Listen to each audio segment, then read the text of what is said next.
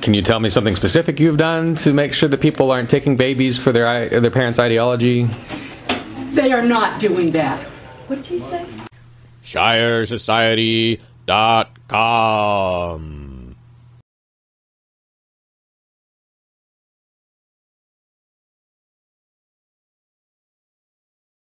Are you on the oversight committee? Yes.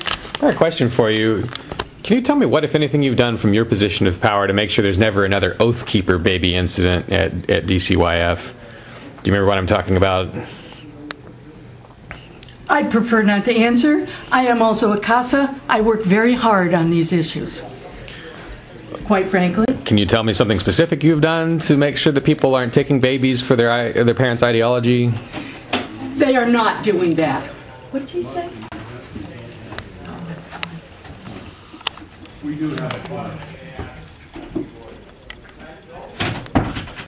Yeah, so I guess she's been to every single DCYF interaction with every single parent.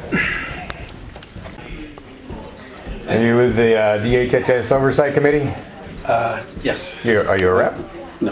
Uh, DHHS? Yes. Which department? Division of Family Assistance. Oh, I'm here okay. to talk about the community services block grant. Nothing exciting. Oh, okay. Well, I do, I do have a question for you, though. Uh, to what extent is that division connected with DCYF?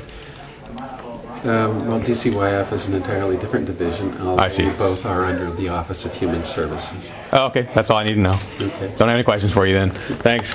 I mean, other than that one. Good morning. Hello. Are you with DHHS?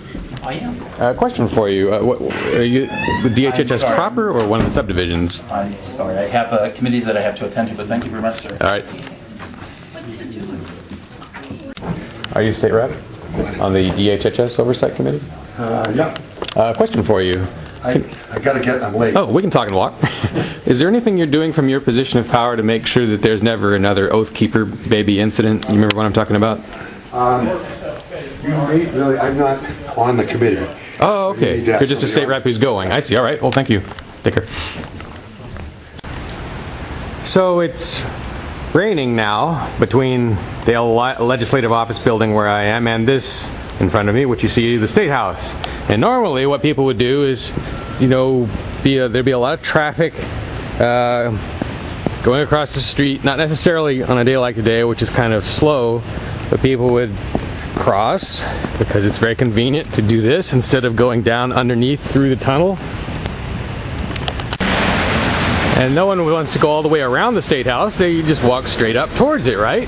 And here I am walking straight up towards it. And wait a minute. Wait just a minute. This is a source of frustration and grievance. And no one's going to hear me, but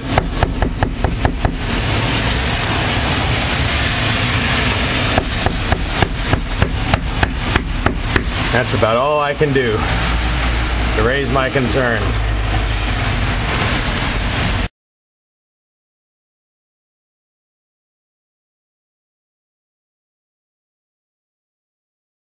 However, there is an, a defibrillator that I can get to if I can get to it, which I can't because. Oh well, even if I were having a heart attack, I'm sure I would be able to go the long way and walk around here and off to the left and. Oh my god.